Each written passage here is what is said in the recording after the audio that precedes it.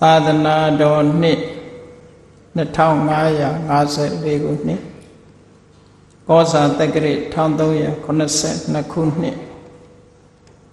ဒီပုရဲလာဇန်ရှိရ2011ခုနှစ်ဖေဖော်ဝါရီလ17ရက်ရန်ကုန်တိုင်းဒေသကြီးတန်လျင်မြို့မဟာအတုလတတ္တမရန်တိ သာသနာဗိဗ္ဗံတော်ကြီးအတွင်ဆင်ကျင်းပပြုလုပ်အပ်သည့်နဝမအကျိန်မြောက်တန်လျင်အထူးဓမ္မသဘင်ပွဲ၌ဟောကြားအပ်သောအမ္ဘပါဠိဤဘဝနှင့်သင်္ကန်းစာအကြောင်းတရားဒေသနာတော်ဒီကနေ့ညဓမ္မသဘင်ခန္ဓာကို ရွှေဖုံးတော်သခင်ရှင်တော်မြတ်ဖရာ၏ မဟာကရုဏာကုံကိုအာယုပြုကတိကျူးဖွဲ့ဆိုအပ်သောဝန္ဒနာပနာမအာတိတဂါထာကိုရွတ်ဆိုပူဇော်ခြင်းဖြင့်စတင်ကြရအောင်ယောကပကောတိဟိပိယပမေယံကာလံကရွန်တော်တိဒုက္ကရာနိ ခေရံကတောလောကဟိတယာနာထောနမောမဟာကာရုဏိကတတတ္တာယောနာထောဝိနိယမြာစွာတတ္တဝါဤချမ်းသာစီးပွားလိုလားတောင်းတဂုံပေါင်းခါသဖြင့်နာထမြညာခြင်းရှင်တော်မြတ်ဖရာသည် ကပ္ပကောတိဟိပိဂရေကဘာအရေးအတွက်သင်္ချာတို့ဖြင့်တော်လဲအဘယ်မေယံရည်တွေ့တိုင်းတာဖော်ပြခြင်းငါမစွမ်းနိုင်ပါသောကာလလေးအသင်ချေသိနေကဘာရှိကြသောကာလပတ်လုံးလောကဟိတယတတလောကဤအကျိုးစီးပွားအလို့ငါအတိဒုက္ခရာနိဥ္စာသက်ချင်လက်အင်္ဂါ မေတ္တာကြီးမှသမိတာနှင့်တထာဇနီစွန်ခြင်းကြီးဟုကျတိထဘွယ်ငါးသွဲအစုအလုံးခဲရင်တော်မူရောကိုကရွန်တော်ဘုရားဖြစ်ရန်ဤတန်ကြိုးကုတ်အာထုတ်တော်မူရသည်ဖြစ်ဖြစ်ခေရန်လက်ချေမျက်လုံးအသက်ဆုံးလည်းရဲ့နှလုံးစိတ်ဝံကိုရောဤပြမညင်းတို့ကတောဘဝတဏ္ဏကျိန်ဖန်များစွာရောက်တော်မူခဲ့ရရှာလေပြီ မဟာကရုဏီကတတတဝါများရင်ဝေတာကဲ့သို့တနာချစ်ခင်မဟာကရုဏာရှင်ဖြစ်တော်မူသောတသနာတသဝိနည်းများစွာတတဝါဤချမ်းသာစီးပွားလိုလားတောင်းတအကုန်ပေါင်းခါသည်ဖြင့်နာထမြညာ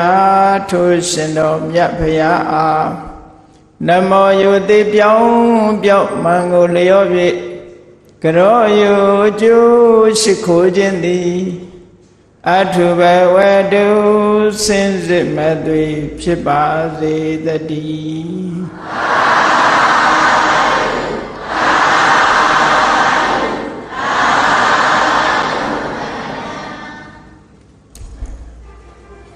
အမ္ဘပါဠိဤ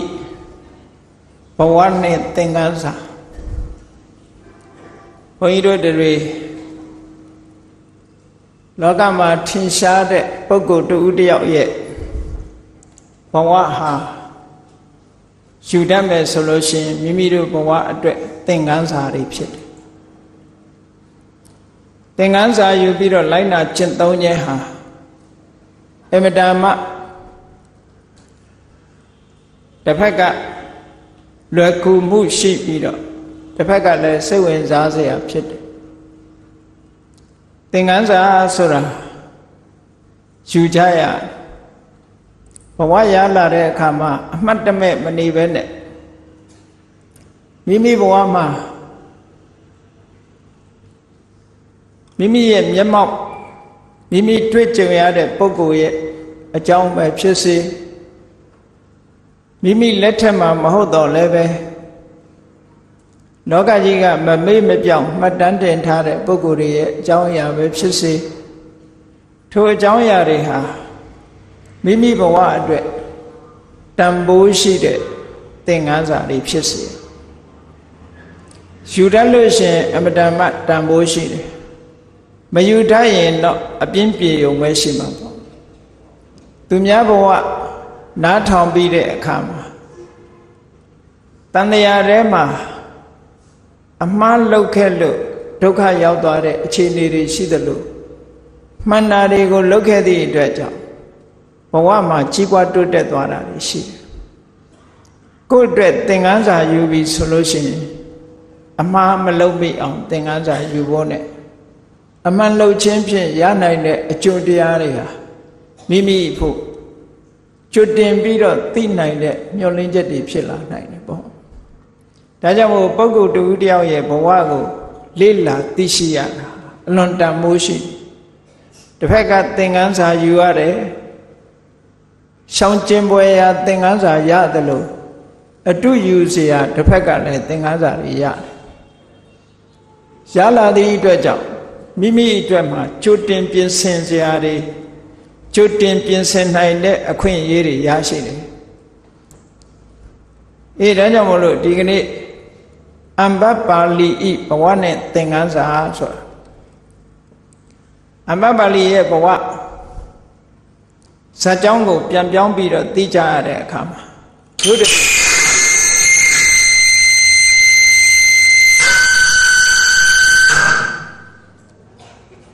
ု့တွေ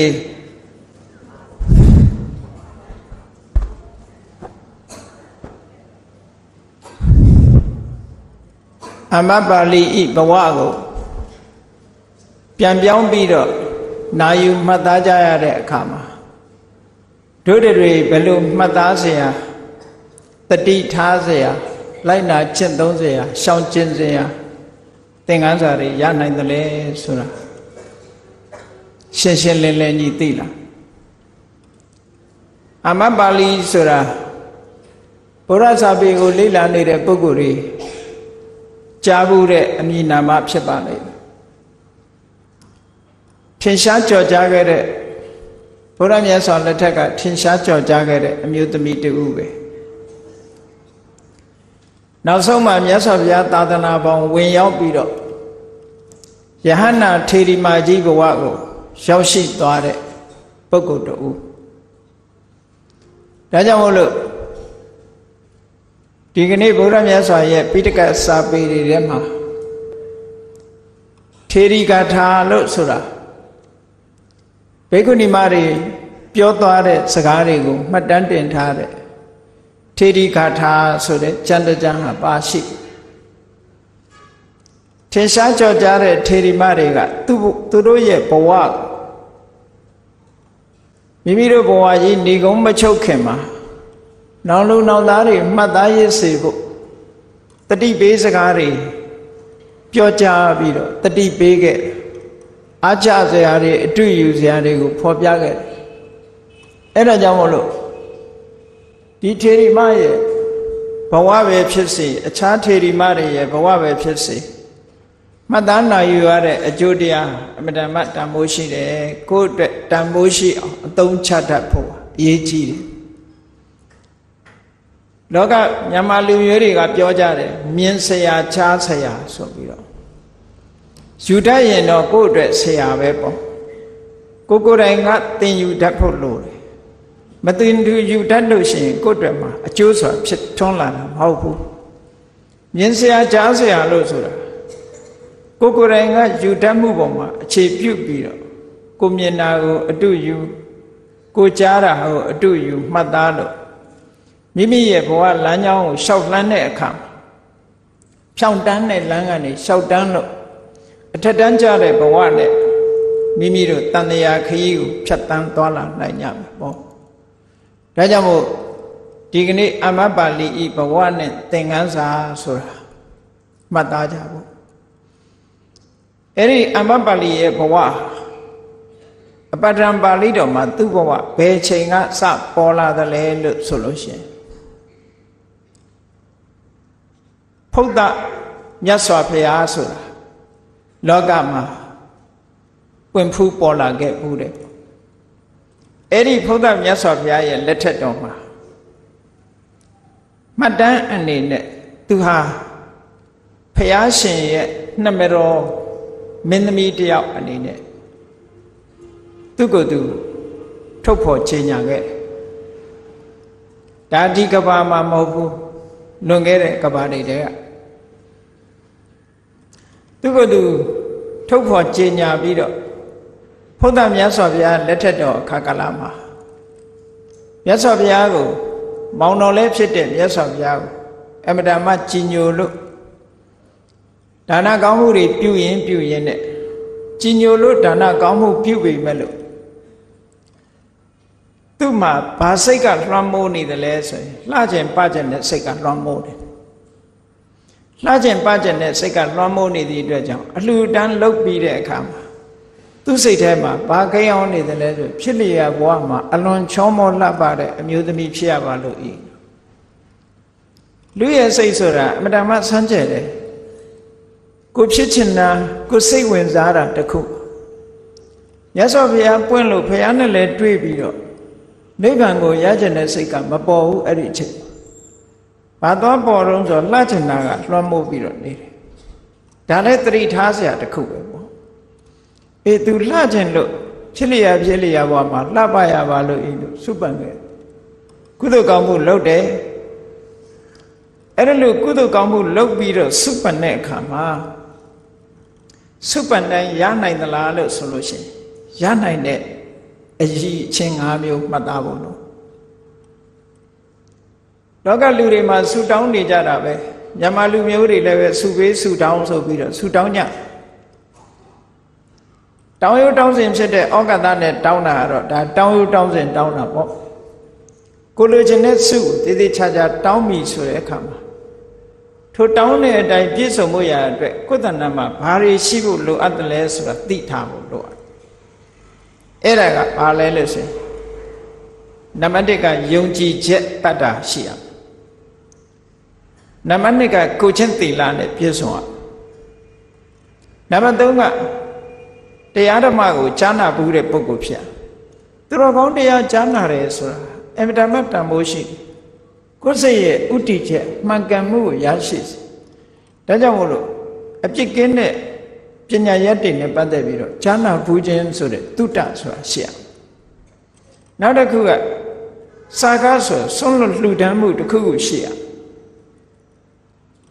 နောက်တစ်ခုကတော့အသိပညာစဉ်းစားဉာဏ်ပညာထက်သန်တဲ့ပုဂ္ဂိုလ်ဖြစ်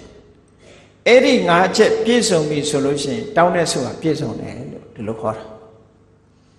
အဲ့တော့ဘုန်းကြီးတို့တွေဆုတောင်းမယ်ဆိုလို့ရှိရင်ဒီငါးချက်ကိုယ့်ကိုယ်ရှိမရှိပြည့်စုံမှုရှိမရှိချွတ်တင်ပြီးတော့စဉ်းစားထားဒီငါးချက်နဲ့ပြည့်စုံပြီဆိုလို့ရှိရင်တော့ကိုယ့်ရဲ့ဆုတောင်းမှုဟာပြည့်ပြည့်စုံနိုင်တယ်လို့ ဒါဘုရားမြတ်စွာဟောကြားတဲ့ဒေသနာတော်ပဲ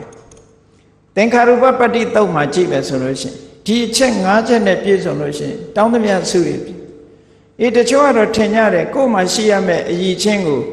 အဓိကမထားဘဲနဲ့ဆူတောင်းပြည့်မြတ်စွာဘုရားသွားဆူတောင်းရင်ဆူတောင်းပြည့်တယ်လို့ထင်တယ်ဖះဆိုတာကတော့ဆူတောင်းပြည့်တာကြီးပဲဆူတောင်းမပြည့်တဲ့ဖះလို့ရှိပါမလားဖះကိုယ်တိုင်ကဆူတောင်းပြည့်လို့ဖះဖြစ်လာတာပဲလေ သို့တော်လူကနာမည်ပေးထားတယ်ဆူတောင်းပြည့်ကိုတော်ကြီးဆိုပြီးတော့နာမည်ပေးထားတယ်အဲနာမည်ကတော့အမျိုးမျိုးပေးကြတယ်အလိုတော်ပြည့်တို့သန္တာတော်ပြည့်တို့နော်အဲ့ဒါလူတွေကနာမည်ပေးထားကြတာအဲ့တော့တကယ်အလိုတော်ပြည့်ခြင်းရင်သန္တာတော်ပြည့်ခြင်းရင်ဘယ်သူမှရှိရမယ်အင်္ဂါရက်တွေတော့ကိုယ်မှရှိအဲ့ဒါကိုမမေ့ဖို့အရေးကြီးတယ်အဲ့တော့မြတ်စွာဘုရားကတော့ဘယ်ဘုရားပဲဖြစ်ဖြစ်ဆူတောင်းပြည့်မဲ့ဘုရားကြီးပဲနော် သို့သောဆူတောင်းပြည့်မပြည့်ဆိုတာဘုရားပေါ်မှာမမူတည်ဘူးတလွဲလူတွေကထင်းနေကြတာဆူတောင်းပြည့်ဘုရားဆူတောင်းမှဆူတောင်းပြည့်တယ်လို့ထင်တာကိုကသာအဓိကဟာအဲ့တော့ကိုကသာအဓိကဆိုတာဒီဖះကဆူတောင်းပြည့်တယ်ဟိုဖះကဆူတောင်းမပြည့်ဘူးဒီဖះကဆူတောင်းပြည့်တယ်နဲ့ဆိုပြီးတော့ဖះကိုသွားပြီးတော့ဟိုပြောကြားနေတာဒါမှန်ကန်မှုမရှိ မှန်ကန်မှုမရှိမှန်ကန်မှုမရှိပြီမဲ့လို့ဒီနေ့အဲ့လိုပြောနေကြတာတွေကများနေတယ်အဲ့တော့မှန်ကန်မှုမရှိတာကကိုဖြစ်နေတယ်နော်အဲ့တော့ဘုရားစီမှာဆုတောင်းမယ်ဆိုရင်ကိုယ်မှာလိုအပ်ချက်ဟောဒီ၅ချက်ဖြစ်ဆုံးတတ္တာတဲ့သီလတဲ့သုတတဲ့စာကတဲ့ပညာတဲ့မြတ်စွာဘုရားကိုယ်တိုင်ကအေးဒဒီငါးချက်နဲ့ပြည့်စုံရင်တောင်းတဲ့ဆုတွေပြည့်စုံတယ်လို့ဟောလို့ဟောထားတယ်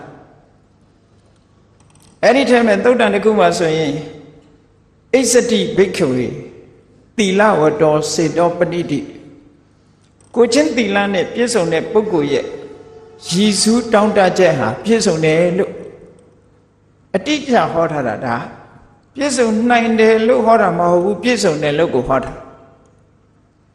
အိစတိဘိက္ခဝေသီလဝတောစေတောပဏိတိကိုချင်းသီလနဲ့ရှေ့ပြည့်စုံတဲ့ပုဂ္ဂိုလ်ရဲ့ စိတ်ရဲ့စုပန်ရည်တန်တောင်းတချက်ဟာပြည့်စုံတယ်။ဘာဖြစ်လို့ပြည့်စုံတာတုံးလို့ဆိုတာကိုမြတ်စွာဘုရားကဆက်ပြီးအကြောင်းပြတာဝိတုဒ္ဓတ္တသူ့မှာကာယကံဝစီကံနေစင်ကြဲနေလို့ပဲ။ဩအဲ့ဒီစကားကိုထောက်ရင်ကိုကိုယ်တိုင်ကမစင်ကြဲဘူးဆိုရင်တော့ပြည့်စုံမှာမဟုတ်ဘူးပေါ့။စင်ကြဲဖို့ရအမတန်မှအရေးကြီးတယ်။ဟောအခုတတ္တတိလသုဒ္ဓဆာကပညာလို့ဆိုရင်ဒီငါးမျိုးနဲ့ပြည့်စုံပြီဆိုရင် ကိုတောင်းတဲ့ဆုပြည့်စုံမှုရအမှန်တမ်းသေချာသို့တော့မတောင်းနိုင်တဲ့ဆုသွားတောင်းရင်ဒုက္ခရောက်တတ်သေးတယ်။ဥမာရဏီတို့လို့မတောင်းတဲ့ဆုသွားတောင်းတယ်လေ။ဗမာတွေကတော့နာမည်ရဲ့အတိတ်ပဲမသိပဲနဲ့မှဲ့ကြတယ်မအောင်မမအောင်မနဲ့။ဥမာဆိုတာအယူကိုပြောတာ။နော်။ဥမာဒန္တဆိုတာယူသွချင်းယူသွစေခြင်းဆိုတဲ့အတိတ်ပဲရတယ် ရွတ်သွစေခြင်းဘသူကိုရွတ်သွစေတာတော့ဆိုရင် သူ့အလှပကိုမြင်တဲ့ပုံကိုယ်တွေကိုယူစေတတ်လို့သူ့ကိုဩမတန်တိလို့ခေါ်တာဩမတန်တိဆိုတာအဲ့ဒီအတိတ်ပဲနဲ့ပြောတာအေးနာမည်မဲ့တဲ့အခါလဲနည်းနည်းအတိတ်ပဲကောင်းတာလေးကြည့်ပြီးတော့မှဲ့ပါနော်ကိုယ့်ကိုယ်ကအတိတ်ပဲမသိပြီပဲလို့နာမည်ကအယူဖြစ်နေတာသိတယ်နော်အဲ့ဒီမှာအဲ့ဒီဆုသွားတောင်းလိုက်သည့်အတွက်ကြောင့် သူ့မြင်တဲ့ပုံကိုယ်တွေဟာအယူမှုဖြစ်ကြရဒုက္ခရောက်အောင်တောင်းတဲ့အတောင်းမျိုးဖြစ်တယ်ပေါ့အဲ့ဒီလိုဆုမျိုးလည်းပဲမတောင်းသင့်ဘူးပေါ့အခုဒီအမတ်ပါဠိရဲ့အလောင်းကတော့ကြည်ဘရင်မြတ်စွာဘုရားရဲ့နှမတော်ဖြစ်ခဲ့တဲ့နဲ့မဂ္ဂင်၈ပါးအကျင့်တရားကိုကျင့်ပြီးတော့နိဗ္ဗာန်ကိုဝင်ဖို့ရမလုပ်ပါပဲနဲ့ဖြစ်တရားဘဝမှာချောမောလှပရပါလို့ဤဆိုတဲ့ဆုကိုသူတောင်းလိုက်တာအေးတောင်းလိုက်သည့်အတွက်ကြောင့် သူတောင်းတဲ့ဆုတော့ရပါရဲ့တန်တရားထဲမှာသူကလွင့်မျောလာခဲ့တာတိခိမြတ်စွာဘုရားဒီကဘာကနေပြန်ပြီးတော့ရေတွက်လိုက်တဲ့အခါမှာ30နှစ်တကဘာမြောက်ကဘာတစ်ခုတစ်ခုဆိုတာအလွန်ကြာတယ်အဲ့ဒီအလွန်ကြာလာတဲ့ကဘာတွေတဲက30တကဘာမြောက်မှာတိခိဆိုတဲ့မြတ်စွာဘုရားပွင့် အဲ့ဒီသိခိမြတ်စွာဘုရားပွင့်တဲ့အခါမှာသာသနာပေါင်းဝင်ပြီးတော့သူကဘိက္ခုနီဝတ်တယ်သူကအဲ့ဒီခြုံတော့ဇမ်းမြင့်ပြမနာအမျိုးမှာအမျိုးသမီးတူဖြစ်တယ်အဲ့ဒီမှာသူဘာမမရွင်ရွင်လုံမိတယ်လေလို့ဆိုတော့အသိကိမြတ်စွာဘုရားရဲ့လက်ထက်ဆိုသိခိမြတ်စွာဘုရား ပြိဋိဘံစံသွားတဲ့အခါစေရီကြီးတည်ထားလို့အဲ့ဒီစေရီကိုဘုရားဘုတက်ကြတဲ့အခါအေးမျိုးသမီးတွေတဲ့ဘိက္ခုနီထေရီမာကြီးတွေယဟန္တာအရှင်မာကြီးတွေလည်းပါတယ်ပေါ့အဲ့ဒီမှာလူဆိုတာစိတ်ကိုယ်သာထိန်းနိုင်တာဟိုယဟန္တာဖြစ်ပေမဲ့လို့တခါတရံကျတော့လူရဲ့ကိုယ်ကာယဆိုတာကအညစ်အကြေးကတော့ထွက်စမြဲပဲပေါ့ ယဟန္တာဖြစ်သွားတဲ့ပုဂ္ဂိုလ်ရဲ့ပါဇက်ကရွှေထွက်မှာမဟုတ်တာပဲအဲ့တော့သူလည်းပဲအညစ်အကြေးတော့ထွက်တာပေါ့အဲ့တော့သူရှိကသွားတဲ့ယဟန္တာထေရီမကြီးကဖះကိုလှက်ပတ်ဖူးရင်းကနေပြီးတော့မတော်တဆသသွေးထွေးလိုက်တာဖះရင်ပြင်ပေါ်လမ်းကြောင်းပေါ်ကျသွားအဲသူကနောက်ကလိုက်လာတယ်တော်တော်လေးလှမ်းနဲ့လိုက်လာတဲ့အခါဟိုဘိက္ခုနီမကြီးကမတော်တဆဖြစ်သွားတဲ့ တတွေးခွက်သူလျှောက်တဲ့လမ်းမှာမြင်လိုက်တဲ့အခါကျတော့ဘာပြောလိုက်တယ်ဆိုဘယ်ပြည့်တစားမကများဒီတတွေးထွေးသွားရတာလေအလကားသာသနာပြတ်မတွေလို့ဆိုပြီးတော့ဆဲလိုက်တာနော်အဲ့တော့နှုတ်ဆိုတဲ့အမတန်တတိထားရတယ်သူဆဲလိုက်တဲ့စကားတစ်ခုကသူကိုယ်တိုင်ပြန်ပြောပြသူကိုယ်တိုင်ပြန်ပြောပြတဲ့စကားထဲမှာ ဝေတိကာစအနာဒါရာဇိနတသာသနာဒုတိကာသူပြောလိုက်တာဝိတိကာစအနာစာရာဆိုတာအကျင့်ပြတ်မှတွေအကျင့်ပြတ်မှတွေ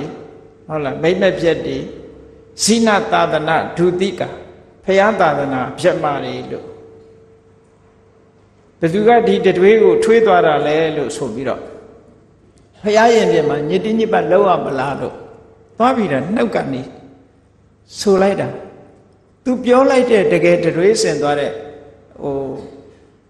အမျိုးသမီးကတာမန်မျိုးသမီးမဟုတ်ဘူးယန္နာမကြီးဖြစ်အဲ့တော့သူယန္နာမကိုပြမမိတာဖြစ်သွားတယ်အဲ့ဒါတတိထားရတယ်နော်အလွန်ကြောက်အောင်အလွန်ကြောက်ဘဝမှာသင်္ကန်းစာယူရဘဝမှာတစ်ခါမားလိုက်တာတတန်တရားလုံးသွားတယ် တတန်တရားလုံးကပြင်မရတဲ့အမှားမျိုးဖြစ်သွားတယ်အဲ့ဒါသင်္ကန်းစာယူဖို့ပြောတာနော်သင်္ကန်းစာယူရမယ်နှုတ်ထွက်မကြမ်းကြစိနဲ့ကိုယ်ပါဇက်ကထွက်တဲ့စကားဟာတန်မိုးရှိတဲ့စကားပဲထွက်စေရမယ်ဆဲရည်တဲ့စကားရိုင်းပြတဲ့စကားကိုယ်နှုတ်ကမထွက်မိအောင်တတိထားဖို့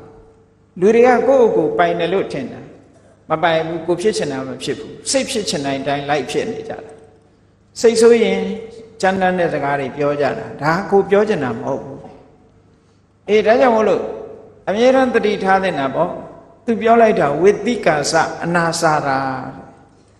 ပြိဋ္ဌစာအပြက်မတွေဟောစိနသာသနာဒုတိကဖျားသာသနာအဖြက်မတွေစေရီရင်ပြင်မှာဒရွေးထွေးသွားတယ်ဆိုပြီးပြောအဲ့ဒီအကုသိုလ်ကြောင့်သူငရဲကြသွား ငရဲကြသွားရုံနဲ့မကဘူးငရဲလွတ်လာတဲ့အခါမှာယဟန္တာကိုသူပြင်မာတာကယဟန္တာဆိုတော့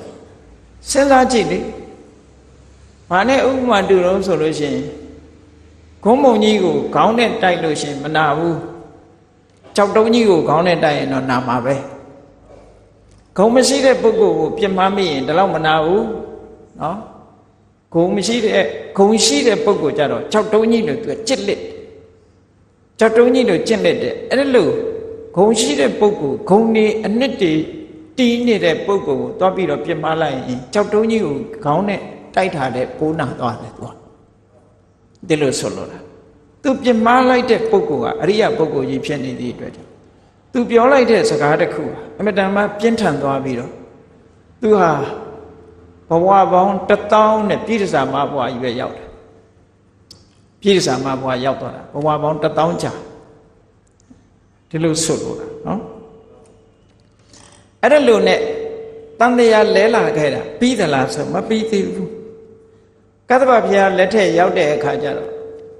အေးသူကသာသနာတော်တွေနဲ့တော့ကြုံတွေ့တယ်ကြုံတွေ့လို့သာသနာဝင်ပြီးတော့မြတ်သောအကျင့်တွေကျင့်တယ်သို့တော့ပေါက်ပေါက်ရောက်ရောက်တော့မဖြစ်ဘူး ပေါက်ပေါက်ရောက်မဖြစ်လို့ကတ္တဗဘုရားလက်ထက်မှာမြတ်သောအကျင့်ကိုကျင့်မိမယ်လို့တရားတို့တရားမြတ်မရလို့သူလုပ်ခဲ့တဲ့ကုသကံအကုသကံရဲ့အပြစ်အရှိန်ကလည်းပဲမကုန်ဘူး။အော်ဂေါရမဘုရားလက်ထက်ရောက်လာတဲ့အခါကျတော့သူကကတ္တဝဘုရားလက်ထက်တုန်းကသူဘာစိတ်ပြတ်တယ်လဲလို့ဆိုလို့ရှိရင် မိခင်ဝမ်းထဲမှာသရေတရားမှာသူစိတ်ပြတ်တယ်ကဲဘုန်းကြီးတို့ပြိဿတဲ့မှာအမိဝမ်းထဲမှာဝင်ရမှာကိုစိတ်မပြတ်တဲ့ပုံကိုယ်တွေစိတ်ပြတ်ကြမသိအမိဝမ်းထဲမှာကိုဘယ်လိုနေရရတယ်ဆိုတာသိကြမှသိမှာလေအခုချိန်မှာပြန်ချောင်းကြည့်ရင်ဘယ်နဲ့နေပါနော်မိခင်ဝမ်းကိုအခုချိန်မှာပြန်ပြီးတော့စိတ်ကူးကြည့်မလား မိခင်ဝမ်းမပြောပါနဲ့တိုက်ခန်းလေးတစ်ခန်းထဲမှာအမဲသားတွေအတစ်လိုက်ဆွဲထားပြီးတော့နော်ညှိစောနန်းနေတဲ့အထက်ကိုအဲ့ဒါတဏှာကြီးလောက်ထည့်ထားလိုက်ရင်ဘယ်လောက်ခံရမလဲစဉ်းစားကြည့်ပါသို့တော့မိခင်ဝမ်းနဲ့ကြတော့အသက်ကမရှူတော့အနတ်တော့ရကြမှာရမှာပေါ့နော်အဲတိမယ်ဆိုရင်တော့ဘယ်သူမှဝင်မှာမဟုတ်ဘူးသို့တော့အဲ့ဒီမျိုးသမီးက तू ကဘယ်လိုစိတ်ထဲမှာဆန္ဒဖြစ်တုံးလို့ဆို ကသဗ္ဗဘုရားလက်ထက်မှာ तू ဆန္ဒဖြစ်တာကမိခင်ဝမ်းထဲမှာလူဖြစ်ရမှာကို तू ကြောက်တယ်မဝင်ញင်ဘူးဒါကြောင့်မို့လို့မိခင်ဝမ်းထဲမှာလူမဖြစ်ချင်ဘူးအဲတချို့လူကြီးတွေပြောတာကြားဘူးတယ်အခုခေတ်အ အမျိုးသမီးတွေရဲ့ဝန်းထဲမှာလူဖြစ်ရမှာကြောက်လိုက်တာလို့ပြောတာတော့ကြားဘူးတယ် ဘာဖြစ်လို့ကြောက်တယ်ဆိုတာလဲကိုယ့်အကိုစဉ်းစားကြည့်ပေါ့နော်ခုခေတ်ကခုံလိုက်ပေါက်လိုက်တာလဲလုံးလို့ရေခဲမုံကလည်းစားသေးတယ်ငရုတ်သီးကလည်းကြိုက်တယ်ဆိုတော့အထဲထဲကအကောင်တော့မသက်တာဘူးပေါ့ရေခဲမုံစားရင်တော့အဲ့ဒါအေးအေးတန်ခံရမှာပဲခြုံစရာဆောင်လည်းမရှိဘူးထဲထဲမှာငရုတ်သီးစားရင်တော့မနှစ်ကຫນွေတဲ့ဆိုးသွားမှသာအောက်မေ့ပြီအဲ့ဒါကြောင့်ကြောက်တာလည်းဖြစ်နိုင်တယ်ပေါ့အေးအဲ့ဒီမှာ သူဆူတောင်းတိုင်းပဲခေါရမြတ်စွာဘုရားလက်ထက်ရောက်လာတဲ့အခါသူကဝေတလီပြည်မှာလူလာဖြစ်တာသို့တော့အမေနဲ့အဖေနဲ့ဖြစ်တာမဟုတ်ဘူးတရေဥယျာဉ်တွေကတရေပင်ကြီးတပင်ရင်းမှာသူကကွာခဲ့တဲ့ဥပပပဋိသတိလို့ဒီလိုပြောတယ်ဩပပတိကပရိသေရိရဲ့တန်တေရစပရိသေရိရဲ့ဆိုတာဟာတန်တေရစကြတော့အစိုးအထိုင်းအညှိကိုဆွဲပြုတ်ပြီးတော့သေးသေးလေးကနေကြီးလာတာ ဩပပတိကပရိသေရိဆိုတာအဲ့လိုမဟုတ်ဘူးဘွားကနဲ့ပေါ်လာတာနော်မိုးပေါ်ကနေကြလာတယ်ဘွားကနဲ့အရွယ်စားအပြည့်ဝဖြစ်တယ်မြန်မာပြည်မှာလည်းပဲဒါမျိုးတွေပြောတာရှိပါတယ်တန်တေရဇဆိုပြီးတော့ကြားဖို့မှာပေါ့ပကန်းခဲမှာဆိုလို့ရှိရင်ဝေလူဝတီတို့ဝါချုံညာအရာသူများပြစ်သွားတာတော့မဟုတ်တော့ပါဘူးဝါချုံညာမှာလူလာဖြစ်တာလို့ပြောတယ် ဒါကြောင့်မို့ဝေလူဝတီလို့ခေါ်တာအဲသူကတော့တရက်ပင်အောက်မှာလူဖြစ်လို့တွေ့တဲ့ပုဂ္ဂိုလ်ကကောက်ပြီးတော့မွေးစားလိုက်တာသူ့ကိုတရက်ပင်အောက်မှာရတာဖြစ်လို့တရက်ပင်ကစောင့်ရှောက်တယ်ဆိုတဲ့အဓိပ္ပာယ်နဲ့အမ္ဘပါဠိအမ္ဘဆိုတာတရက်ပါဠိဆိုတာစောင့်ရှောက်သူ တရက်ရဲ့စောင့်ရှောက်မှုတရက်ပင်ရဲ့စောင့်ရှောက်မှုအောက်မှာမွေးဖွားလာတဲ့ပုဂ္ဂိုလ်ဆိုတဲ့အမည်နာမနဲ့အမ္ဘပါဠိဒီနာမည်ကိုပေးတယ်ငယ်ရွယ်တဲ့အချိန်ကတည်းကယုတ်ကမတန်မချောတယ်သူကသူဆူတောင်းခဲ့တဲ့အတိုင်းယုတ်ကမတန်မချောတော့ဝေသာလိပြည်ဆိုတာလည်းပဲအလွန်များတဲ့လက်ဆွေမင်းတွေက9900 9ယောက် တိုင်းပြည်ကိုအုပ်စိုးတဲ့ခုခေတ်ဆိုရင်တော့ပါလီမန်မင်းပါတွေပေါ့နော်9900 9ယောက်သူတို့ဆန်တဲ့နံပြတ်သက်တွေကလည်း9900ခုနေထိုင်တဲ့ဒီအဆောက်အုံကြီးတွေကလည်း9900ခုရေကန်ကြီးတွေကလည်း9900ခုဥယျင်ဥယျင်ဗိမာန်တွေကလည်း9900ခုဆိုဝေသာလီမြို့ကြီးဟာထိုခေတ်ကာလတော့ အတိုးတက်ဆုံးစီကားဆုံးမြို့ကြီးဖြစ်ခဲ့တယ်အဲ့ဒီမှာသူဒူသွားဖြစ်တဲ့အခါကျတော့သူဆူတောင်းနေကြောင်းမို့လို့သူဆူတောင်းပြည့်တယ်မိခင်ဝမ်းမှာလည်းလူမဖြစ်ရဘူးချောမောလှပတာကိုလည်းလိုချင်သည့်အတွက်ကြောင့်လူတွေလူမမြအဲနတ်မမြလူမကဆိုတဲ့ဒီအမတန်ချောမောလှပတဲ့ရုပ်အရှိကိုရ ဒီမိန်းကလေးကိုဟိုတူကလိုချင်ဒီတူကလိုချင်ဒီလိုဖြစ်လာတဲ့အခါအဲကံကောင်းအကြောင်းမလားကျင်တော့ရှေးခေတ်ကအဲ့ဒါလိုလိုချင်တဲ့လူများတဲ့မိန်းကလေးကိုဘုံအဖြစ်ထားလိုက်ကြ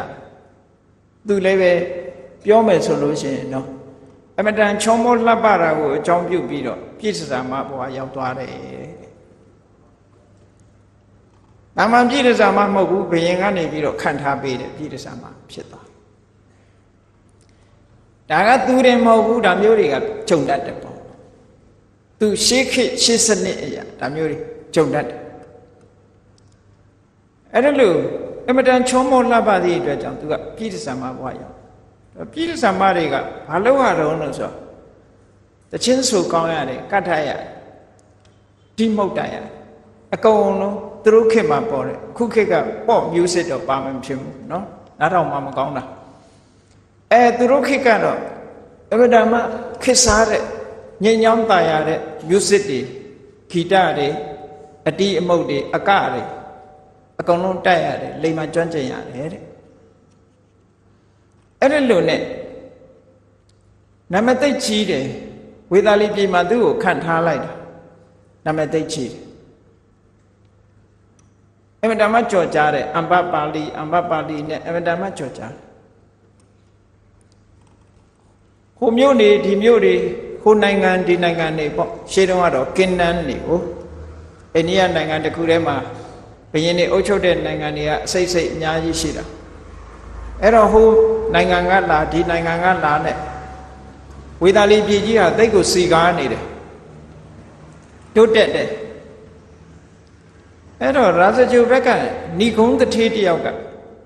ကိစ္စတစ်ခုနဲ့ဝေသာလီကိုရောက်လာတော့ ဝေသာလီရဲ့တိုးတက်စီကားမှုဟာအမတန်မှအမခမ်းဖြစ်တယ်အမခမ်းဖြစ်ရုံမကဘူးဝေသာလီမှာအလွန်အလွန်နာမည်ကြီးတဲ့အမပါဠိကြောင့်ဝေသာလီဟာတကူထွားနေတယ်ဆိုတာသူစိတ်တယ်အလုံးကစိတ်ဝင်စားရမယ့်နေရာကြီးတစ်ခုဖြစ်လာတယ်ပေါ့ဒီအလှမဲ့ရှိသည့်အတွက်ကြောင့်စိတ်ဝင်စားကြတာပေါ့အလုံးကအဲ့ဒါကြောင့်မို့လို့အဲ့ဒီသတင်းကြားတဲ့အခါကျတော့သူကနေပြီးတော့ သူ့နိုင်ငံပြန်ရောက်တဲ့အခါမှာရာဇဂိုမြို့ဗိမိတာရမင်းကြီးစီအခါစားဝင်ပြီးတော့သူကပြောတယ်ဝေသာလီကတိတ်တိုးတက်တယ်ဝေသာလီနဲ့ဗိမိတာရတို့ကပြိုင်ဘက်ဖြစ်နေတာဝေသာလီကတိတ်တိုးတက်တယ်အဲ့ဒီတိုးတက်တဲ့ထဲမှာဝေသာလီဟာအမတမစီကားပြီးတော့လူတွေစိတ်ဝင်စားတာဟာတော့အမပါဠိကြောင့်ပဲဒါကြောင့်မို့လို့ရာဇဂိုမြို့ကြီးတို့6ကက်ကက်ဖြစ် ရာဇဂိုမြို့ကြီး6ကက်ကက်မဖြစ်ရအောင်စီကားအောင်ဝေသာလီရဲ့စံနမူနာကိုယူပြီးတော့အလှမဲ့တူခန့်ထားရင်ကောင်းပါပဲလို့ဟောအကြံပြုတယ်အကြံပြုတော့ဗေမိတာရမင်းကြီးကသဘောတူလိုက်တယ်သဘောတူလိုက်တော့အဲ့ဒီမှာတာလဝတီဆိုတဲ့အမတန်မှချောတဲ့အမျိုးသမီးတယောက်ကိုအလှမဲ့အဖြစ်ခန့်ထားလိုက်တယ်အဲ့ဒီမှာအဲ့လိုခန့်ထားရုံနေမကဘူး ဒါမှတ်တမ်းနဲ့ပါတာကိုပြောတာနော်အမပါဠိဆိုတဲ့ဇာလန်းကအိန္ဒိယနိုင်ငံမှာဝတ္ထုကောင်းကောင်းရေးထားတာရှိတယ်အဲ့ဒီထဲကအကြောင်းအရာတွေမပြောဘူးဗုဒ္ဓစာပေအထက်ကရာမှာလာတဲ့ဟာကိုပဲပြောမယ်ဝိမလကွန်တညာဆိုတဲ့ထေရဂါထာထဲမှာအမပါဠိအကြောင်းကိုပြောထားတာလေးရှိတယ်အထက်ကရာမှာ အမပါဠိဂုံတရင်အမတန်ကြီးတယ်ဗိမိတာရကလည်းငငယ်ပဲရှိသေးတယ်ဂုံတရင်အမတန်ကြီးတော့ဗိမိတာရကသူ့နိုင်ငံမဟုတ်ဘူးသူနဲ့ပြိုင်ဘက်နိုင်ငံဘယင်တစ်ပါးအနေနဲ့တခြားနိုင်ငံကိုဒီတိုင်းသွားလို့ကမလွယ်ဘူးမလွယ်တဲ့အခါကျတော့သူကဘာလုပ်တော့ဆိုလူလေးငယောက်နဲ့ရုပ်ဖြတ်ပြီးတော့အမပါဠိစီကိုမရောက်ရောက်အောင်သွားတယ်ဗိမိတာရကြီးက အဲဒီတော့သူဘုရားတကာကြောင်းတကာဖြစ်အောင်မဖြစ်မှာဘူးနော်ဘုရားတကာကြောင်းတကာမဖြစ်သေးလို့နေပါလိမ့်အဲ့တော့ရုပ်ဖြစ်ပြီးတော့အလှမဲ့အမ္ပပါဠိစီကိုသူရောက်အောင်သွားရောက်အောင်သွားတော့ဗိမိတာရနဲ့ပတ်သက်ပြီးတော့အဲ့ဒီအလှမဲ့အမ္ပပါဠိဟာဒီတရေရသွားအဲ့ဒီရလိုက်တဲ့ကလေးလေးက နောင်ကြတော့မွေးဖွားလာတဲ့အခါမှာဝိမလကွန်တင်ညာလို့ခေါ်တဲ့ရဟန္တာပုဂ္ဂိုလ်တို့ဖြစ်တယ်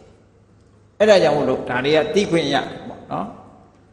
နောင်ကြတဲ့အခါကျတော့အမတ်ပါဠိမှာသားကလေးတယောက်ရှိတယ်တဲ့အဲ့ဒီသားကလေးကိုဝိမလလို့ခေါ်တယ်နောင်ကြီးလာတဲ့အခါသူ့ကိုကွန်တင်ညာဆိုတဲ့အနွယ်လေးထည့်ပြီးတော့ဝိမလကွန်တင်ညာလို့နာမည်ပေးလိုက်တယ်အဲ့ဒါလို့နဲ့အမတ်ပါဠိဟာအမတန်မှကြော်ကြားခဲ့တာ သူဗုဒ္ဓဘာသာဖြစ်ပေါ်လာပုံလေးကဘယ်လိုလဲလို့ဆိုမြတ်စွာဘုရားသခင်ကိုရောမြတ်ကဝေသာလီကိုကြွအဲ့ဒီဝေသာလီကြွတဲ့အချိန်မှာတော့သူသားကလေးတယောက်နဲ့သူနေတယ်သူ့လုပ်ငန်းတော့သူရှိမှာပေါ့အလှမယ်တွေကသားဆိုလို့ရှိရင်ပေးပြစ်ထားများတခြားလူကမွေရတယ်သူတို့မမွေဘူးအဲ့တော့ဝေသာလီမြတ်စွာဘုရားကြွတဲ့အချိန်မှာ သူ့ရဲ့သားကလေးဟာသာသနာပေါင်းဝင်သွားတယ်ဘုန်းကြီးဝင်သွားတယ်ပေါ့အဲသူ့အနေနဲ့ကတော့ဘုရားဘာသာဘယ်ချိန်မှဖြစ်လာတော့ဆိုသူကနာမည်သိကြီးတာကိုဝေသာလိပြည်မှာအလွန်အလွန်နာမည်ကြီးတာမြတ်စွာဘုရားသခင်ကိုရောမြတ်ကဝေသာလိရဲ့ရန်ကိုဟန်တားဖို့လို့ဆိုပြီးတော့မြို့တဲနေတဲ့ပါတလိပုတ်အခုခေတ် ပတနာလို့ခေါ်တယ်ပေါ့အိန္ဒိယနိုင်ငံအဲ့ဒီပတနာမြို့နေရာမှာပါတလိဆိုတဲ့ရွာလေးရှိတယ်အဲ့ဒီရွာတီးတာဟာဝေသာလီရဲ့အရှိန်ဝါကြီးလာတာကိုဟန်တားဖို့ရအတွက်ဗိမိသာရတို့ကအဲ့ဒီနေရာမှာမြို့တဲခုခေတ်လိုပဲစစ်ရေးအရာပြင်ဆင်ထားတာပေါ့အကယ်၍ဝေသာလီကလာတိုက်မယ်ဆိုလို့ရှိရင်ခုခံဖို့ရအတွက်မြို့ပြတဲထောင်ထား အဲ့ဒီမြို့တဲနေတဲ့အချိန်ပတ္တလိဆိုတဲ့ရွာလေးကိုမြို့အဖြစ်တိုးချဲ့ပြီးတော့တီးနေတဲ့အချိန်မှာမြတ်စွာဘုရားအဲ့ဒီရောက်ကြွသွားပြီးတော့ခင်းကမြေကြီးချားတယ်ဝေသာလီနဲ့ရာဇဂိုကမြတ်စွာဘုရားကခင်းကမြေကိုဖောင်နဲ့လှေနဲ့မကူးဘူးနောက်ပါယဟန်တန်ဃာတွေနဲ့အတူတကွအဲ့ဒီချိန်မှာကူးเสียဖောင်နေလှေတွေကအစင်းသင်းမရှိတော့လူတွေကဖောင်ရှာကြလှေရှာကြလုံနေတဲ့အချိန်မှာ မြတ်စွာဘုရားကတန်ဃာတော်တွေနဲ့တကောအေဒီဘတ်နဲ့ပဲဟိုဘကန်းကိုပွားကနေဒီဘကန်းပျောက်ပြီးဟိုဘကန်းရောက်သွားတဲ့စွန့်ရည်တတ္တိနဲ့ကြွသွားလိုက်တာအဲ့ဒီမြေကမ်းမှာဗာမျိုးရှိလဲလို့ဆိုကောတိဂါမဆိုတဲ့ကောတိဂါမဆိုတဲ့ရွာကြီးရှိတယ်ပေါ့အမတမထင်ရှားတဲ့ရွာကြီးခဏခေတ်မှာလည်းပဲအိန္ဒိယနိုင်ငံမှာအဲ့ဒီရွာရှိသေးတယ်သူတို့ကလားတွေအခေါ်နဲ့ဆိုကိုတီဂရမ်လို့ခေါ်တယ် ကိုတီဂရမ်ဆိုတာကောတိဂါမကိုပြောတာတလောတော့ကသမိုင်းထောက်ထားဒူးဖော်တဲ့ရှေးဟောင်းသူတေသနာဖွဲ့ကအဲ့ဒီကိုတီဂရမ်ဆိုတာဂိန်းကမြို့နာမြင့်ကမ်းမှာရှိသည့်အတွက်ကြောင့်ဂိန်းကမြင့်ရေကဘာပြိုတဲ့အခါမှာရှေးတုန်းကအယိုးမြုပ်ထားတဲ့အိုးတွေပေါ်လာအဲ့ဒီအိုးတွေထဲမှာစာရန်လေးပါလာတာဘာပါလာတော့ဆို အနန္ဒာဆိုတဲ့စာရန်လေးပါလာတယ်အဲ့ဒါကြောင့်မလို့ရှင်အနန္ဒာမထေရရဲ့ဓာတ်တော်ဖြစ်လောက်တယ်လို့ဆိုတဲ့ယူဆချက်ရှိတယ်ဘာလို့လဲဆိုရှင်အနန္ဒာမထေရအကြောင်းကြားဖို့ကြလိမ့်မယ်ရှင်အနန္ဒာကအဲ့ဒီကောတိဂရမ်မှာသတင်းသုံးသွားတာနောက်ပိုင်းမှာအသက်အရွယ်ကြီးတဲ့အခါအသက်120မှာရှင်အနန္ဒာပြိဋိဘံဆံသွားတဲ့အခါမှာဟိုဘက်ကန်းကလည်းသူ့ကိုးကွယ်တယ်ဒီဘက်ကန်းကလည်းသူ့ကိုးကွယ်တယ် ဟိုဘက်ကန်းကလည်းသူတို့စီမှာပြိဋိဘံဆံမှာဒီဘက်ကန်းကလည်းဒီဘက်မှာပြိဋိဘံဆံမှာဆိုတော့ရှင်အနန္ဒာဟာမျက်နှာလိုက်လို့မရဟိုဘက်ကလည်းတကာရင်တကမရင်ဒီဘက်ကလည်းတကာရင်တကမရင်ဆွမ်းတကာဆွမ်းမတွေဆိုတော့တစ်ဖက်ကိုပြိဋိဘံဆံလိုက်မယ်ဆိုရင်ကြံတဲ့တစ်ဖက်ကလူတွေကစိတ်ထဲမှာမချမ်းမမြေ့ဖြစ်ကြလိမ့်အဲ့ဒါကိုကာကွယ်တဲ့အနေနဲ့ရှင်အနန္ဒာမထေရမြတ်ကကောင်းကင်ယံမှာပြိဋိဘံဆံပြီးတော့ကောင်းကင်ယံမှာပဲတေဇောဓာတ်လောင်ဖို့အထိတ်ထံပြီးတော့ ကောင်းကင်မှာပြိဋိဘံပြုလိုက်တယ်ပြိဋိဘံပြုပြီးတာနဲ့တပြိုင်နက်သူ့ရဲ့ယုတ်ကလဟာကောင်းကင်မှာပဲတေဇောဓာတ်လောင်ပြီးတော့ဓာတ်တော်တွေကြတော့ဟိုဘက်တချမ်းဒီဘက်တချမ်းကြတယ်လို့ဆိုထားတယ်ရှန္ဒနာကအလွန်ထူးဆန်းတယ်ယဟန္တာဖြစ်တုန်းကလည်းဣရိယာပုတ်၄ပါးလွတ်ပြီးတော့ယဟန္တာဖြစ်တယ်ပြိဋိဘံဆံတော့လည်းပဲကောင်းကင်ယံမှာပြိဋိဘံဆံတယ်ဟိုဘက်ဓာတ်တော်တချမ်းဒီဘက်ဓာတ်တော်တချမ်းအဲ့ဒီကိုတီဂရမ်ဆိုတဲ့ထဲမှာတူးဖော်လို့ခုနတုန်းက ကဘာပြိုလို့ပေါ်လာတဲ့ဓာတ်တော်အယိုးအိုးတွေအဲ့ဒါတွေရထားတာတမိုင်းဌာနကတော့အဲ့ဒီဇလန်းကိုထောက်ထားပြီးတော့ဒါရှာအနန္ဒာရဲ့အယိုးဖြစ်နိုင်တယ်လို့ယူဆကြတယ်ပေါ့နော်ကဲအဲ့ဒီကိုမြတ်စွာဘုရားကြွသွားတယ်ကောတိကာမကြွသွားပြီးတော့မြတ်စွာဘုရားဗာတရားဟောတော့ဆိုတော့အဲ့ဒီမှာသစ္စာလေးပါးတရားကိုဟောတာသစ္စာလေးပါးတရားဟာအမတန်မှဘုရား တရားတော်ရဲ့အနှစ်သာရပိုင်းပဲပေါ့အဲသစ္စာလေးပါးတရားဟာမြတ်စွာဘုရားအဲ့ဒီကောတိကာမသစ္စာကထာဆိုတာအမတန်မှနာမည်ကြီးတယ်သစ္စာလေးပါးဟောတာမြတ်စွာဘုရားကဘာမေးရှိတုံးဆိုစတုဏံရိယသစ္စာနံယထာဘုဒ္ဓံအတ္တတနာတန်တိတံဒီကမတ္တနံတာတုတာတေဝဇာတိတုဆိုသစ္စာလေးပါးကိုမသိလို့တဲ့တန်လျာကြီးထဲမှာ တို့တွေလဲလာခဲ့ရတာဟိုဘဝရောက်လိုက်ဒီဘဝရောက်လိုက်လူဖြစ်လိုက်နတ်ဖြစ်လိုက်တိရစ္ဆာန်ဖြစ်လိုက်နဲ့ဘဝအမျိုးမျိုးတဘဝပြီးတဘဝပြေးလွှားပြီးတော့သွားနေကြရတာဟာသစ္စာကိုမသိလို့ဖြစ်တာလို့အဲ့ဒီမှာမြတ်စွာဘုရားကသစ္စာနဲ့ပတ်သက်တဲ့တရားကိုဟောခဲ့တဲ့နေရာပေါ့အဲ့ဒီမှာမြတ်စွာဘုရားကတာနိဣတ္တနိဌာနာနိဘဝနိတိတမှုဟတံ ဘဝတစ်ခုကနေတစ်ခုကိုရသွားတယ်ဆိုတာဘဝနိတ္တိလို့ခေါ်တဲ့ဘဝကိုဆောင်ကျင်းသွားနိုင်တဲ့ဘဝတစ်ခုကိုဖန်တီးပေးနိုင်တဲ့တွေ့တာမှုဆိုတဲ့တဏှာအဓိကအဲ့ဒီတွေ့တာမှုတဏှာကိုလုံးဝဖြည့်ဆည်းပစ်ပြီးပြီဥစ္စိဏမူလံဒုက္ခတအဲ့ဒီဘဝတဏှာဟာဒုက္ခရဲ့အရင်းမြစ်ကြီးပဲအဲ့ဒီဒုက္ခရဲ့အရင်းအမြစ်ကိုလည်း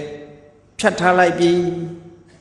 ငါဟာဒါတွေကိုဒုက္ခရဲ့အရင်းမြစ်ဖြစ်တဲ့တဏှာကိုလုံးဝဖယ်ရှားပြီးလို့နတ္ထိဒန္တိပုဏ္ဏဘောငါအတွက်တော့နောက်ဘဝဆောင်ရှိတော့ဘူးလို့သစ္စာတရားဟောရင်းနဲ့မြတ်စွာဘုရားကအဓိက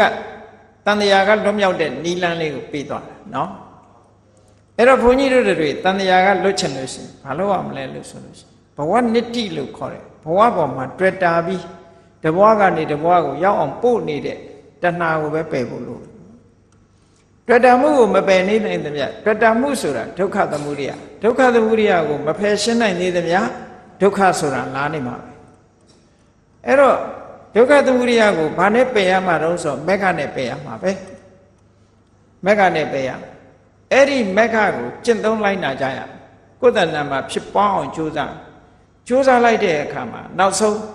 ဒုက္ခនិရောဓဆိုတာမြင်လိုက်တာနဲ့တပြိုင်နက်ဒုက္ခသမုဒယကိုကျွတ်မဲ့ဖယ်ရှားပြနိုင်တယ်။ ဩသစ္စာ၄ပါးဆိုတာဟာ